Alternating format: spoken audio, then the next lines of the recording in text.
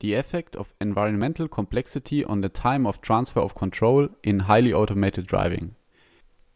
Our study design was a 2 by 5 factorial within subjects design.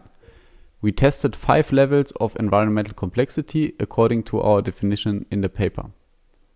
We had two driving tasks, one with secondary task and one without secondary task. The transfer of control time was measured as the dependent variable. We created all environments using the Esri CityEngine. An open area scene was used as the least complex scene. It has a simple road network and surrounding green space. It contains no landmarks at all. An apartment building scene is an example of environmental complexity level 2. The road is surrounded by sparse apartment buildings.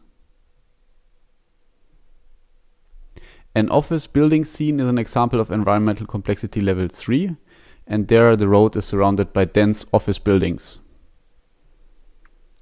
In level 4, we also have office buildings, but with skyscrapers. So it contains densely constructed low business areas and some high-rise buildings.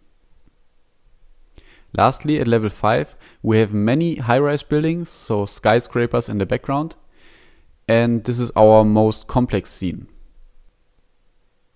If we quickly go through all levels, you can easily see how it adds up.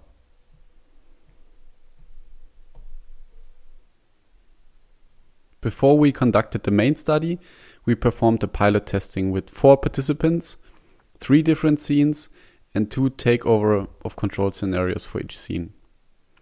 The updates and learnings for the main study were that the participant instructions were updated we increased the number of environmental complexity to five overall and created audio feedback after each takeover of control.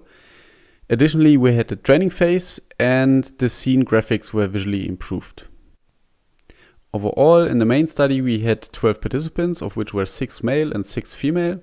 They were aged between 23 and 31 years without hearing or vision problems. The task always started with autonomous driving, and we had two takeover of control scenarios per environment, and the order of the scenes was randomized. The secondary task looked like this. So we had a tablet game, which was a game called Vector Invaders in Android. The apparatus was a three monitor setup on a special driving simulator seat called Inside Race Triple we used the Logitech uh, G27 steering wheel, an eye tracker, and three monitors of the brand BenQ, and a computer with an i7 um, processor and a quite good graphics card. So how did it look like? The secondary task and the takeover. Here's a video.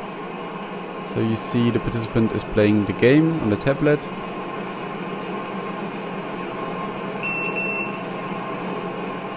This was the takeover request.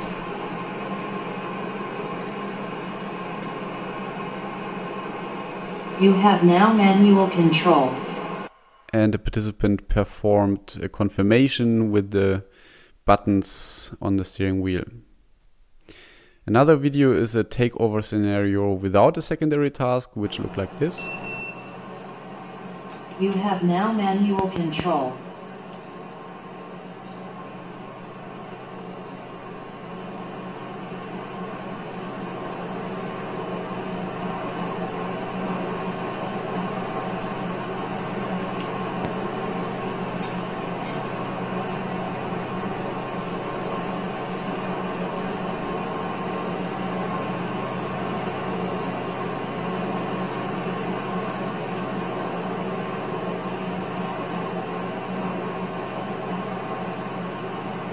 Please turn right at the next intersection.